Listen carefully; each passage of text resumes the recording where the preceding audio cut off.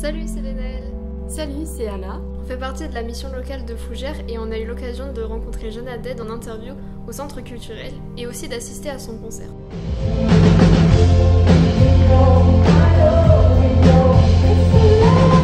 Évidemment, on a eu plein de questions sur sa musique. On s'est rendu compte qu'elle était portée par plein de courants différents. Ouais, le show était super complet avec plein de différentes vagues. Les gens dans la salle se sont levés au premier morceau et ne se sont jamais rassis.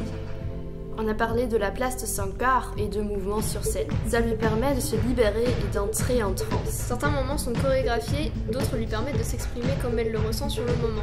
Et tout est incarné par son corps.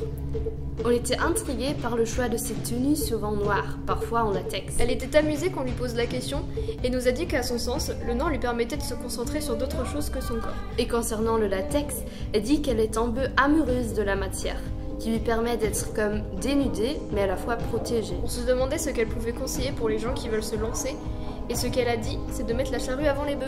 De foncer, peu importe son âge, son niveau. De ne pas attendre d'être prête. De s'affranchir de ce que la société peut attendre de nous. On s'en fout de faire son premier album à la trentaine. Et son goal de vie, c'est d'avoir toujours envie de faire de la musique et d'être la meilleure artiste possible.